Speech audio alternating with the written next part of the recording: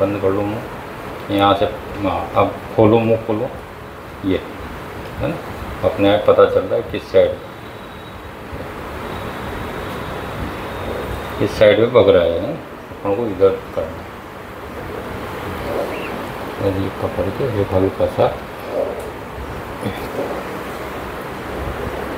हम्म। हम्म, खोलो। हम्म, खोलो हम्म। बहुत पुराना हो गया ना ये। दिक्कत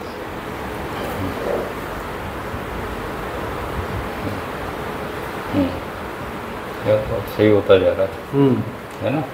तो बस यही तरीका है।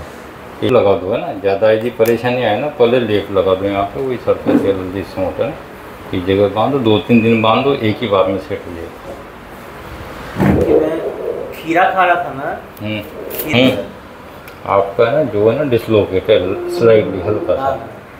तो वो क्या यहाँ से प्रेस करके जैसे मुँह खोलोगे ना उससे आइडिया लग जाता है। मुँह बिल्कुल अच्छे से नहीं खुलेगा अटक के खुलेगा रुक के खुलेगा।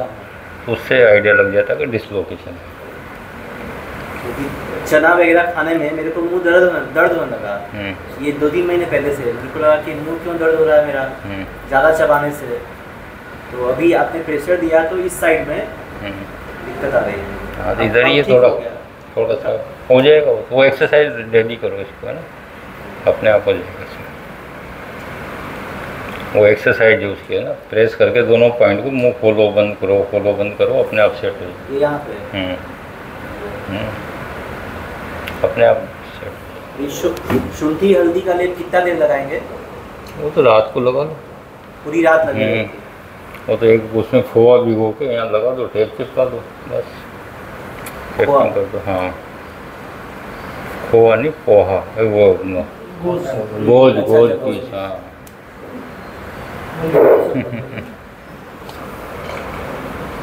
ठीक है ना जिसमें हो जाएगा ठीक है आज चलते हैं अपना अपर लिंग पे है ना अपर लिंग में सबसे पहले तो सबसे बड़ा ज्वाइंट है शोल्डर बहुत परेशानी लोगों को आजकल उसके बाद एल्बो है उसके बाद ये है कार्पल तीन चीज़ें हैं सामने तीनों ज्वाइंट हैं तीनों इम्पोर्टेंट हैं. और तीनों की जो प्रॉब्लम्स है वो आसान नहीं है यानी. फ्रोजन शोल्डर क्या फ्रोजन शोल्डर ही कहते हैं है ना? क्या क्या बीमारियाँ होती हैं शोल्डर में? कुछ आइडिया हो? कौन कौन सी डिज़ीज़ शोल्डर के अंदर होती है? हम्म। हम्म। हम्म हम्म हम्म। बहुत सारी कंडीशंस है इसकी। जैसे अपन ने वहाँ साइटिका स्लिप डिस्क के बारे में देखा था ना तो साइटिका स्लिप डिस्क कोई वो नहीं है बीमारियाँ, लेकिन हाँ वो रूड हो गई उनके लिए। वो शब्द है ना रूड हो गए बीमारियों को समझाने के लिए। ऐसे यहाँ फ्रोजन शोल्डर है। फ्रोजन शोल्डर कोई डिज़ीज़ नहीं है। कंधे की एक पोजीशन है, एक स्थिति यानी आपका शोल्डर फ्रीज हो गया। किस कारण से हुआ है, वो कारण आपको एम में पता चलेगा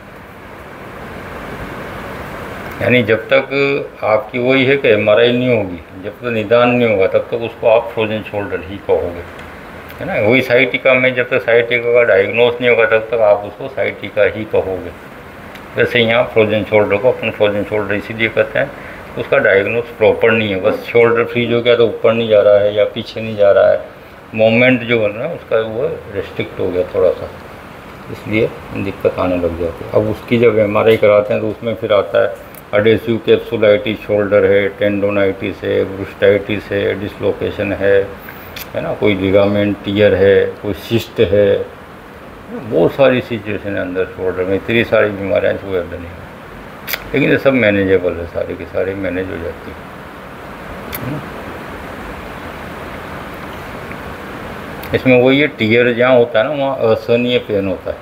जब पेशेंट आएगा ना आपके पास पोजन शोल्डर का तो उसमें असहनीय पेन होगा, उसको दर्द इतना ज़्यादा होगा, कोई हाथ लगा दे तो दर्द टकरा जाए तो दर्द यानी असहनीय। तो वहाँ समझ जाना कि इसको टीयर है अंदर, है ना? उसमें सबसे पहले थेरेपी नहीं करनी, उसमें लेप लगाना है। जब भी कोई शोल्डर की ज़्यादा पेनफुल कंडीशन यदि आप लोगों के सामने आ जाती है तो सबसे पहला काम है लेप। लेप कौन सा वही सरसों तेल, हल्दी, सौंठ गरम करके और वो पेस्ट लगा दो। दो दिन, तीन दिन उसको बांधो। तो उससे हीलिंग भी हो जाएगी स्वेलिंग भी कम हो जाएगी पेन भी कम हो जाएगी। उसके बाद थेरेपी करेंगे तो उसको भी आराम मिलेगा। यदि उस कंडीशन में अपन थेरेपी करेंगे तो हो सकता है उसका पेन बढ़ जाए। तो कोशिश यही करनी कि सीवियर कंडीशन में एक दिन, दो दिन लेप करवा दो। उसके बाद थेरेपी करो तो अच्छा लगेगा उसको जल्दी ठीक हो जाएगा।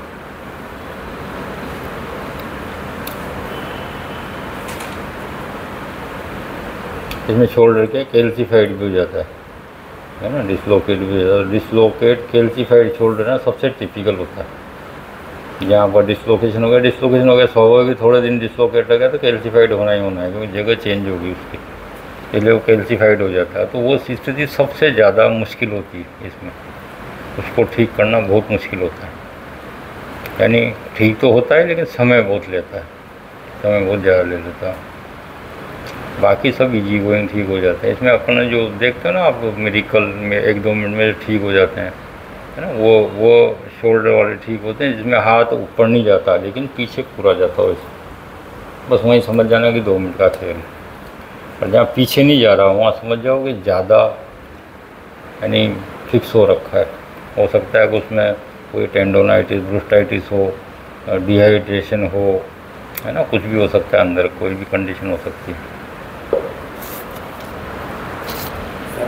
हम्म, वो तो एम से पता चलता है। नेक्रोसिस का तो कहीं का भी आपको एमआरआई के बिना पता चलेगा ही नहीं। और जब पता चलेगा तो टाइम बहुत ज़्यादा हो चुका होगा। जब अपन सिम्टोम सिम्टम्स के हिसाब से, भाई होता तो पेन ही है ना उसमें। और तो नया कुछ होता ही नहीं अब दर्द से तो कैसे पता करेंगे भाई ये नेक्रोसिस है या कुछ है? है ना तो शोल्डर नेक्रो किसी भी जॉइंट का जो नेक्रोसिस होगा, वो आपको एमआरआई में ही पता चलेगा। बस ये है, दर्द में यदि तीव्रता है, बहुत ज़्यादा, किसी भी चीज़ से आराम नहीं मिल रहा है तो फिर आपको, यानी पेन किलर यदि वहाँ काम नहीं कर रहा है तो आपको एमआरआई करवा लेना चाहिए। जहाँ पेन किलर फेल हो जाए, वहाँ समझ जाओ नरवाई ने कहीं ना कहीं कोई गड़बड़। क्योंकि पेन किलर हमेशा मसल्स पे काम करता है नर्व पे नहीं करता तो नर्वाइन डिज़ीज़ पे कोई आराम नहीं मिलता है। एस आई टी का ले लो शोल्डर ले लो, कोई सी भी ऐसी बीमारी ले लो जहाँ नर्वस सिस्टम से रिलेटेड मैटर है। वहाँ पेन किलर का कोई ज़्यादा रोल नहीं। या मस्कुलर आपको पेन है ना, वो आपको आराम मिल जाएगा।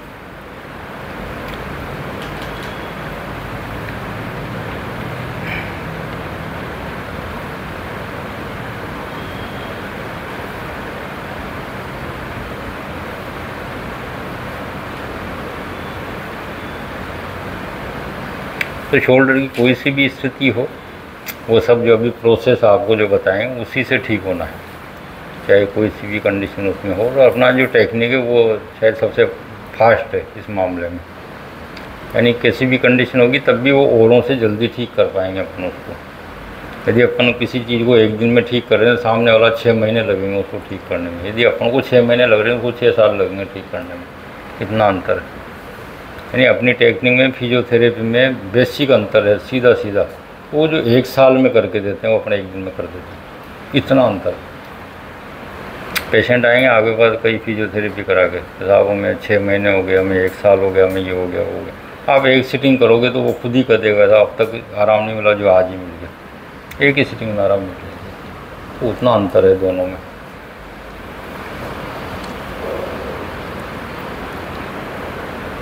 ऐसे शोल्डर में लगे रहते हैं फिजियोथेरेपी छः छः महीने साल साल भर आठ आठ महीने लगातार फिजियोथेरेपी चलती रहती कोई फ़ायदा नहीं होता, वो बस वो करते हैं, तब तक तो थोड़ा सा मूवमेंट आता है, फिर उसके बाद वापस से जाम सुबह उठते हैं तो वहीं का वहीं, है ना? फिर फिजियोथेरेपी कराने जाओगे थोड़ा बहुत मूवमेंट आएगा, फिर वापस वहीं। तो ये खेल चलता रहता है उसमें, वो खुलता नहीं है शोल्डर और इसमें यही है कि शुरू में ज़्यादा लंबी सिटिंग करने की ज़रूरत नहीं पड़ती। शोल्डर में यही, एक दिन, दो दिन, तीन दिन मैक्सिमम बहुत है। इतनी सिटिंग कर दो, उसके बाद लेप लगवा दो, उसको दो, तीन दिन फिर बुला लो। यदि नहीं होता है तो। बाकी नहीं तो मैक्सिमम हो जाता है। अरे एक बार आपने यदि सेवेंटी परसेंट ठीक कर दिया तो हंड्रेड परसेंट तो अपने आप ही हो जाएगा। वो सेवेंटी परसेंट तक आपको करना है बस। सेवेंटी परसेंट यदि आपने रिकवरी ला दी उसमें तो फिर वो हंड्रेड परसेंट तो ऑटोमेटिक ही दो, तीन एक्सरसाइज अपनी है। वो एक्सरसाइज को बता दो लेप बता दो, थोड़ी सी मेडिसिन दे दो। अपने आप हो जाएगा, दोबारा नहीं आएगा वो आपके पास। और ऐसे ही फिर टेनिस का ये एल्बो का आ जाता है। एल्बो में वही नेक्रोसिस भी होता है ना? और टेनिस एल्बो भी होता है। गोल्फ एल्बो भी होता है सेल्फ एल्बो भी होता है ना? ऐसे कार्पोटल सिंड्रोम होता है। तो ये सब हाथ में जो भी प्रॉब्लम आपको आने वाली है, वो सर्वाइकल के बिना नहीं आएगी। एक सिद्धांत बैठा लो दिमाग में। और पैरों में जो भी समस्या आपको आने वाली है, वो बिना लंबर पे प्रेशर के आएगी नहीं। ये सीधा सा सिद्धांत है। जब तक आप इन चीज़ों को मैनेज नहीं करोगे, यदि आपको शोल्डर हो गया तो आपको सर्वाइकल को भी ठीक करना है। तब जाके वो, उसका पेन मैनेज कर पाओगे आप जल्दी। नर्व का इन्वॉल्वमेंट तो होता ही है। एक जल्दी नर्व तो हंड्रेड परसेंट इन्वॉल्व होती है शोल्डर में। उसके बिना तो वो होगा ही नहीं कुछ भी।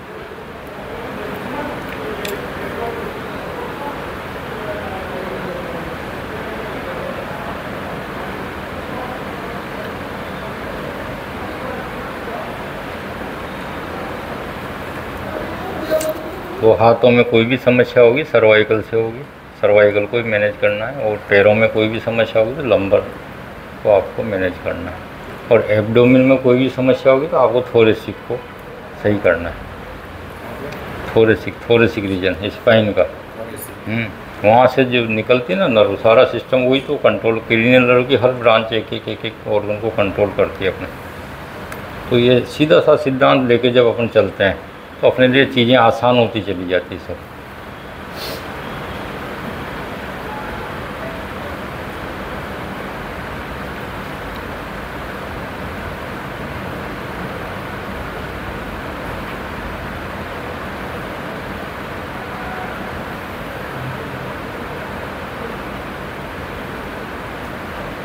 शोल्डर में कोई ऐसी की स्थिति आई हो, एल्बो में कोई ऐसी स्थिति हो ऐसे पेशेंट आए हो आगे पास जिन्होंने इरिटेट किया वो ठीक नहीं हुए हों, या कार्पल टनल के ऐसे कोई केस आए हों।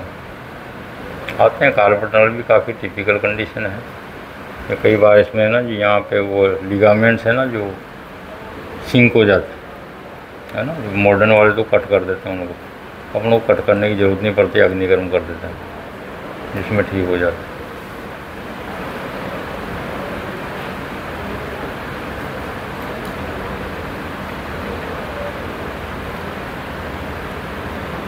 थ्योरी तो कोई सी भी हो, थ्योरी पे ज़्यादा फोकस नहीं करना, अपन को प्रैक्टिकल पे फोकस करना है। क्योंकि थ्योरी तो कई बार क्या होता है ना, कहते ना नॉलेज आपको है ना जो डराती है हमेशा। जितनी ज़्यादा नॉलेज होगी, आप उतना ही ज़्यादा डरोगे। है ना? और जो बिना वो रहते ना, बिना ज्ञान वाले, वो कंधा हो ये ले, एक देंगे ठीक कर देंगे। चलो आओ यार, ये ये टीयर नहीं हो जाए, वो टीयर नहीं हो जाए, कहीं इसको हाई नहीं हो जाए इसका, ठीक नहीं? तो नॉलेज आपको डराती है। डर पैदा करती पर वो सावधान भी करती है एक तरीके से। तो वो डरना नहीं चाहिए, सावधानी से काम करना चाहिए। उसका मतलब यही है कि आप जो भी करो, सावधानी से करो। तो उसमें क्या है कि वे सिद्धस्तता मिलती चली जाती है आपको। यश आपको मिलता चला जाएगा धीरे धीरे तो अपन को प्रैक्टिकली ज़्यादा आपको वो होना है परफेक्ट ठीक नहीं? बाकी थ्योरी तो क्या है कि मेडिकल साइंस ने बनाई हुई है सारी। और अपना जो काम है वो मेडिकल साइंस से बाहर का है टोटल वो तो जो चीज़ें कहते हैं, वही हम बता रहे हैं, भाई हाँ ये फ्रोजन शोल्डर या एडेसिव कैप्सुलाइटिस शोल्डर ये ये ये, वो। और वहाँ जब टेक्निक अप्लाई करते हैं, उनके हिसाब से तो ठीक होना ही नहीं चाहिए। यानी उसकी एनाटोमी बदलना ही नहीं चाहिए किसी भी हालत में, लेकिन अपन तुरंत ही बदल देते हैं। है ना, दो दिन में, तीन दिन में आप करके देख लो बातों होते हैं एम करा लो, सब खत्म। तो वो चीज़ें अलग है। पर वो ठीक है, अपन को समझने के लिए ज़रूरी है। ये अपन को फॉलो उसी को करना है समझाना भी उसी भाषा में लोगों को।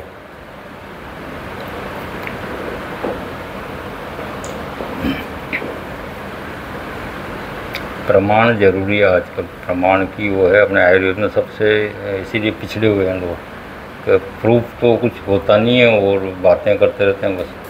वो हमने ये ठीक कर दिया, हमने वो ठीक कर दिया, हमने ये ठीक कर दिया सब मतलब ठीक होता नहीं, ठीक होने लगता है ना, जिसमें तो चिल्लाने लग जाते हैं। अरे अरे, ठीक हो गया, ठीक हो गया, ठीक। ये होता ठीक होता नहीं है। ठीक होने का मतलब बीमार, क्योर होने का मतलब है कि आपने जितना भी काम किया है, उसका रिज़ल्ट आपको जो भी मेडिकल साइंस ने पैरामीटर सेट किए हैं उस डिज़ीज़ के लिए, वो पैरामीटर बिल्कुल नॉर्मल आ जाने चाहिए। तब जाके वो मानेंगे, दुनिया तब मानेगी आपके काम को। तो जो पैरामीटर मेडिकल साइंस ने आपके किसी भी डिज़ीज़ के लिए जो सेट किए हैं, वो पैरामीटर पे आपके द्वारा की हुई चिकित्सा के बाद सब चीज़ें नॉर्मल आ जाए, तब तो वो मानेंगे। नहीं तो कोई नहीं माने आप चिल्लाते रहो तो इसीलिए आदत डाल लो टेस्टिंग कराने की। अपन क्या डरते हैं? ठीक नहीं कहीं कोई भी हो गया लंबर का हो गया सर्वाइकल हो गया स्पाइन हो गया तो दोबारा जाँच कराने से अपन खुद ही कतराते हैं। अरे यार, क्या पता क्या हुआ होगा अंदर? अपन को खुद को ही पता नहीं। भाई, अपन ने जो काम किया ना, वो उसका साइंस अपन को पता नहीं है। इसलिए हम डरते हैं यदि उसका साइंस आपको पता है। तो आप नहीं डरोगे? भाई, मुझे पता है कि मैं डिस्क बल को सात दिन के अंदर अंदर कर देता हूँ। ये साइंस मेरे को पता है, क्योंकि मैंने डेवलप किया इस चीज़ को। तो वो होता है। होता है तो मैं बाकायदा बोलता हूँ, भैया, करा जाँच। करा के यार, चेंज आता है उसमें।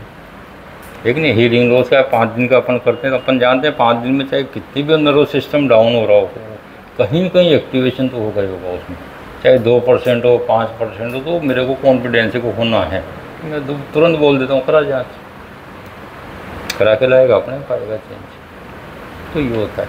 तो हम जो करते हैं ना, उसका साइंस हमें पता होना चाहिए। तो हम जो ये कर रहे हैं, इसके पीछे ये साइंस है, और इससे ये काम होना है।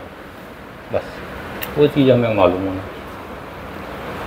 तो फिर अपन क्या, डरेंगे नहीं। लोगों को फेस करने से बिल्कुल नहीं घबराएँगे। वो कहेगा, साहब, जाँच, बिल्कुल जाँच करा के आना।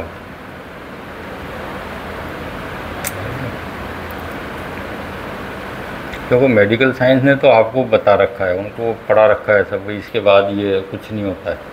ठीक नहीं डिस्क बल अंदर नहीं जाता है, कंधे में भी फ्रोजन शोल्डर हो गया तो ये कोई दवाई से उससे ठीक नहीं होगा, आपको ऑपरेट ही कराना पड़ेगा। ठीक है? वो सारी ऐसी सिचुएशन आ जाती है कि वो आपको ऑपरेट ही कराना पड़ेगा, लेकिन ज़रूरी नहीं है। उसके आगे भी दुनिया है, उसके आगे भी नॉलेज उसके आगे भी ज्ञान है। ये तो आज की पैथी है मॉडर्न तो। आयुर्वेद तो हज़ारों साल पुराना है। पर अपन ने क्या ध्यान नहीं दिया। हमने, मैंने हर चीज़ यहीं से निकाली, आयुर्वेद से। हर चीज़ वहीं से निकली। तो पढ़ने का नज़रिया मेरा अलग था। आप लोग पास होने के लिए तो हम भी पढ़े हैं लेकिन हमने फिर चिकित्सा के लिए भी पढ़ाई की खूब पढ़ाई की। तब जाके ये चीज़ें समझ में आने लगी।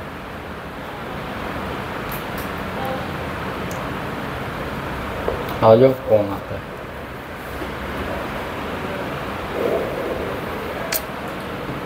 नहीं कि किसी को भी हम्म? हम उसका देखेंगे। डिस्टोनिया के बारे में थोड़ा सा समझाइए। का था? हम्म। हो डिस्टोनिया सर्वाइकल डिस्टोनिया या कौन सा? हाँ वही सर्वाइकल डिस्टोनिया। एक साइड में जाता रहता है। कभी हम्म। उसमें क्या है, है तो टिपिकल मैटर काफ़ी है ना। ज़्यादा पुराना नहीं हो तो ठीक हो जाता है। ज़्यादा पुराना हो जाए तो बहुत मुश्किल काम है। डिस्टोनिया के अपना भी रिज़ल्ट लगभग सिक्सटी फोर्टी का ही है रेशो साठ परसेंट ठीक हो जाते हैं चालीस परसेंट नहीं होते हैं। वही कारण वही है कि जितना ज़्यादा पुराना होगा, उतना ही दिक्कत आएगी। उसमें, इसमें सबसे मेन चीज़ तो है कि बॉडी में कॉपर की मात्रा बढ़ जाती है। है ना? सबसे मेन तो ये है कि बॉडी के अंदर कॉपर की मात्रा बढ़ जाएगी। तो अपन को ऐसी कोई चीज़ नहीं देनी उसको जिससे कॉपर डेवलप हो उसका। है ना? कॉपर को अपन को कंट्रोल करके चलना है। डिस्टोनिया में सबसे मेन मुख्य चीज़ यही है, जो आपको कोई नहीं बताएगा। ना मेडिकल साइंस बताएगी, ना कोई डॉक्टर बताएगा, ना कोई आयुर्वेद बताएगी। ये मेरा एक्सपीरियंस है। है ना? तो इसमें कॉपर की मात्रा आपके, उसको कंट्रोल करके चलो। टेस्ट करा लो है ना? कॉपर की मात्रा बढ़ी हुई है तो उसको कंट्रोल करो। है ना? मेडिसिन बहुत सारी है अपने। जो भी, अपने मुत्रल जो मेडिसिन है वो दो, अपने आप निकल जाएगा कॉपर बॉडी से। और इसमें थेरेपी यही होती है, अपना जो प्रोसेस चलता है सर्वाइकल का, वही प्रोसेस आपको जो बताएँगे, वही करना है, उसी से हो जाता है।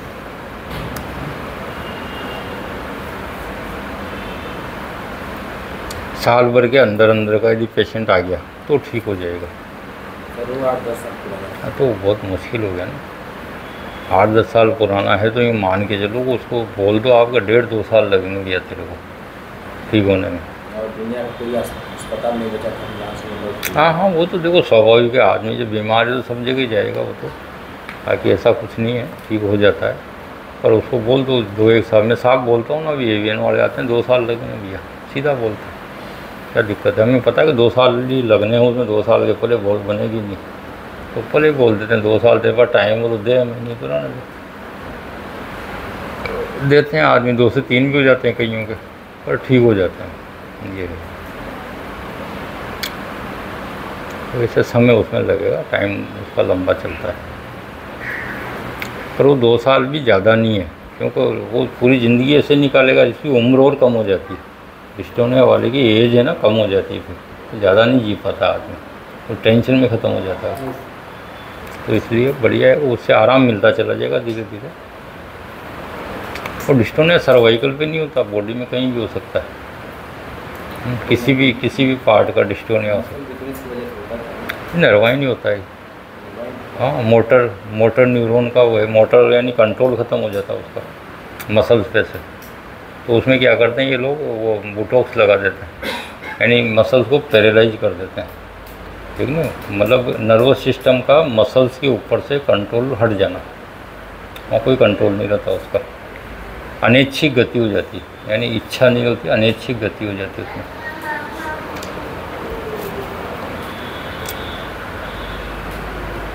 तो थेरेपी से सही हो जाता है। ध्यान रखना गिर नहीं जाए कल की तरह ये, मालूम। आ जाओ, कौन आ रहा है? बताते जाते आके बैठना है बस।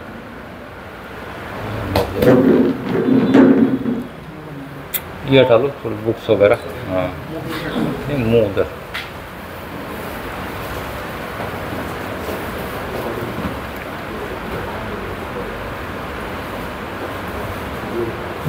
एक बार लेट जाओ आप, सीधे लेट जाओ हम्म।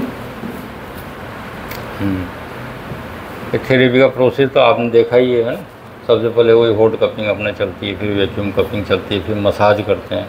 मसाज करने के बाद फिर अपन पेशेंट को उल्टा लेटा देते हैं, वहाँ से शुरुआत होती है। है ना? तो वहाँ से शुरुआत होती है सर्वाइकल जो हम करते हैं ना, गर्दन उठाना, करना, वो है सर्वाइकल करते हैं सर्पासन में। है ना? और लंबर करते हैं अपन भुजंगासन में। तो वो करने के बाद फिर जब पेशेंट सीधा होता है वहाँ से उसका शोल्डर की थेरेपी चालू हो जाती है। यानी इसमें क्या होता है कि मेन तो स्पाइन का अपन को जो बेसिक प्रोसेस है वो फॉलो करना है। उसके बाद फिर